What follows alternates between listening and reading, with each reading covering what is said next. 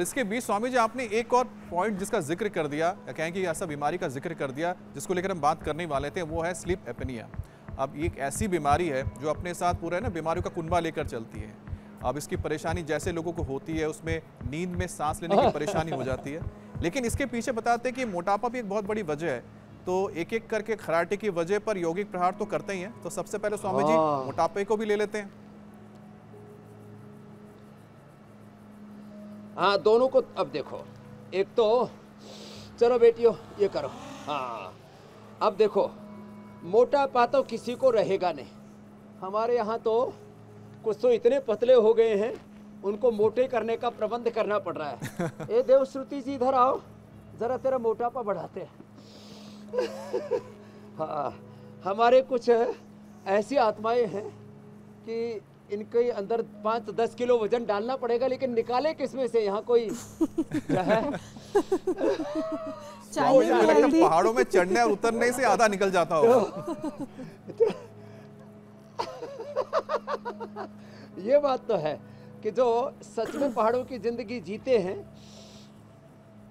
हाँ आप तो दंड लगाओ।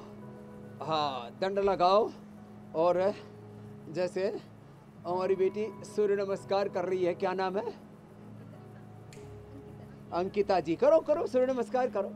हाँ मज़बूत हो जाते हैं सूर्य नमस्कार करके। जो सूर्य नमस्कार करेंगे स्वामी तो जी हमारे साथ तो पहाड़ों की बेटी स्वस्थ, भी है। और ज्योत्सना से पता लगता है कि पहाड़ों पे कितनी चढ़ी होगी कि अभी तक उसका फल मिल रहा है। अरे ये तो पहाड़ों की बेटी पहाड़ों की रानी महारानी पहाड़ों की ये तो उड़न तस्तरी जैसी है। हाँ। ऐसे बच्चे भी बहुत कम होते पहाड़ों में इतने लंबे ठाड़े तगड़े फ्लेक्सिबल योगिनी परम योगिनी है। स्वामी जी मुझे बहुत सारे लोग कहते हैं तो ऐसे कि तुम इतनी पतली कैसे हो? तो मैं उन्हें कहती हूँ ये ये मेरे राज्य के जीन्स हैं। मेरे माँ बाप के अलावा मेरे राज्य के जीन्स हैं पहाड़ी जीन्स जो मेरे अंदर हैं।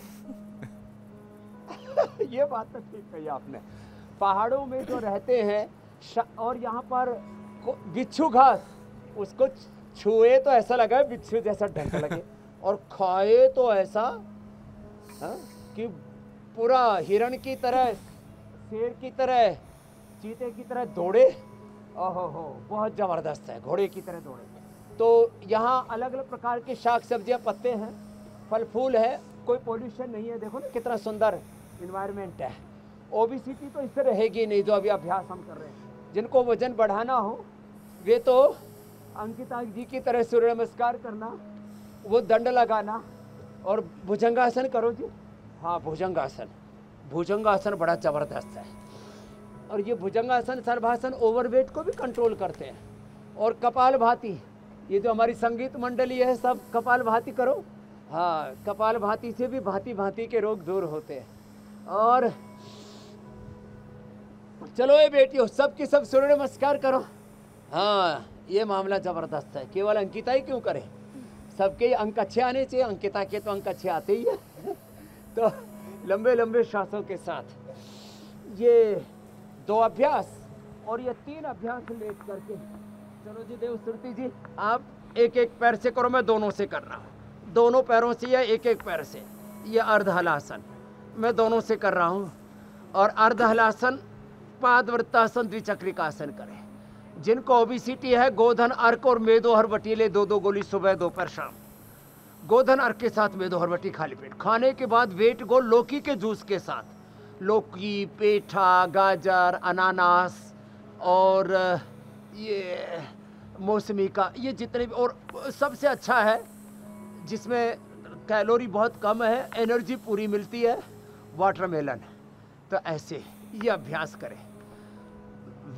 मेदो हरवटी गोधन अर्क के साथ, खाने के बाद वेट को नमक, मीठा, अनाज बंद कर देते हैं।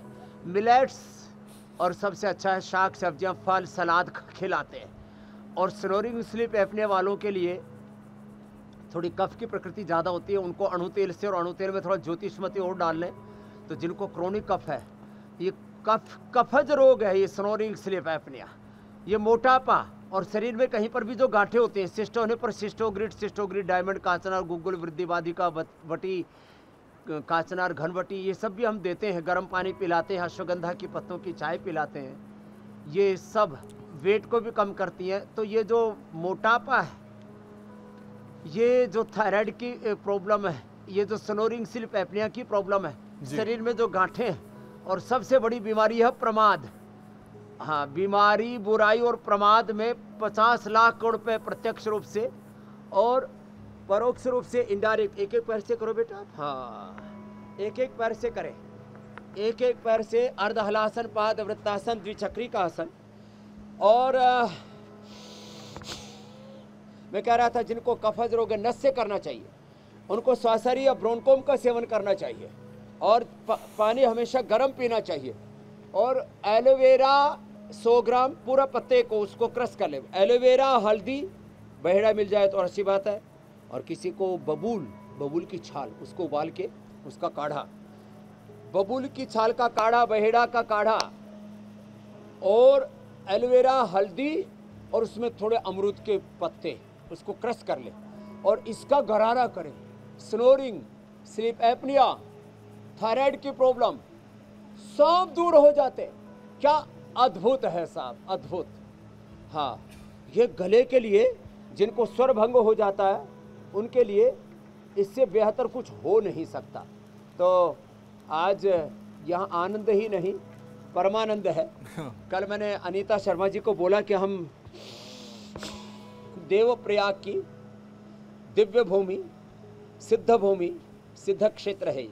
ये यहाँ से योग कराएँगे। बोले जी फिर तो आनंद आ जाएगा। जो हमारे इंडिया टीवी के जो दर्शक हैं ना जब ये दृश्य देखते हैं दर्शक नहीं मैं उनको स्वास्थ्य साधक कहूँगा। दर्शक तो खाली देखते ही देखते करते नहीं है फिर। योग साथी हमारे इंडिया टीवी के जो हमारे योगी हैं वो भी आज आनंदित तो हो रहे होंगे और कह रहे होंगे कि स्वामी जी जब अगली बार जा, जाओगे तो हमको भी साथ में लेके जाइयो।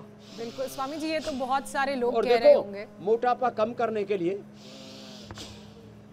हाँ अर्धहलासन पादवृत्तासन, द्विचक्रिकासन तो कर ही रहे कपाल भाती करो जी आप बैठ करके आप। हाँ एक तो कपाल भाती और एक अनुलोम विलोम। पूरी बॉडी का मेटाबॉलिज्म ठीक हो जाता है। तो अब मोटापा तो किसी को नहीं रहेगा।